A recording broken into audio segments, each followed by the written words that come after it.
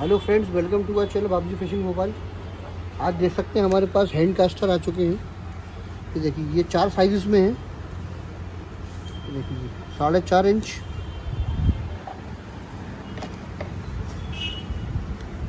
छः इंच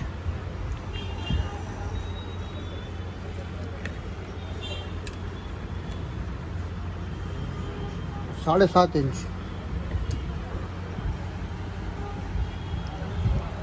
ये तीन सौ साइज़ में अवेलेबल हैं, देख सकते हैं आप, ये हैंड ग्रिप के हिसाब से भी हैं। कुछ लोगों का है बड़ा वाइडर हैंड ग्रिप चाहिए, कुछ को मीडियम हैंड ग्रिप चाहिए और कुछ को बिल्कुल छोटा हैंड ग्रिप चाहिए। और इसके साथ इसमें लाइन कैपेसिटी का भी फ़र्क पड़ेगा ये देख सकते हैं आप। यहाँ पे एक ऐसा उन्होंने पोजीशन दी जिससे आपकी लाइन आप ऑटोमेटिक खुलती भी चली जाएगी देख सकते हैं आप। ये जो स्लाइडर दिया है इन्होंने यहाँ पे, देख सकते हैं आप। स्मूथ एज दिए यहाँ पे।